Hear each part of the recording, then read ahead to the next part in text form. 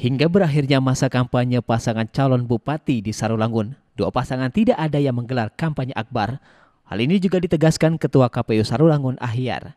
KPU sudah menerima surat dari masing-masing calon tentang pembatalan kampanye akbar dengan alasan dua pasangan calon menilai kampanye akbar tidak efektif untuk mendongkrak suara. Untuk kampanye akbar eh, sampai hari ini juga kedua pasangan calon itu tidak melaksanakan kampanye akbar.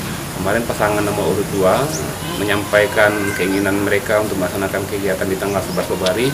Kemarin eh, mereka nyurati KPU eh, tidak jadi melaksanakan kegiatan kampanye akbar tersebut.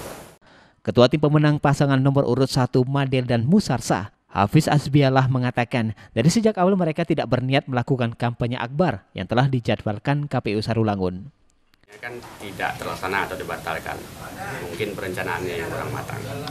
Kalau kita memang perencanaan kita sudah matang dari awal, tidak akan melaksanakan kampanye akbar itu. Terima kasih. Hal yang sama juga dikatakan Ketua Tim Pemenangan Pasangan Calon Nomor Urut 2, Cek Endra dan Hilal, Yusuf Elmi.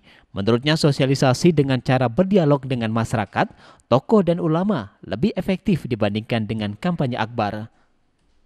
Ini sebenarnya target kami sebenarnya kemarin mau mengandalkan kampanye dan surat uh, pemberitahuan ke KPU, Panwas, Kepolisian kami sudah siapkan dan sudah kami sampaikan ke pihak terkait berdasarkan hasil rapat tim kampanye baik kabupaten dan kecamatan.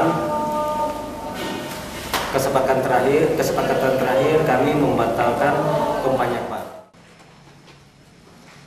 Surya Abadi Jambi TV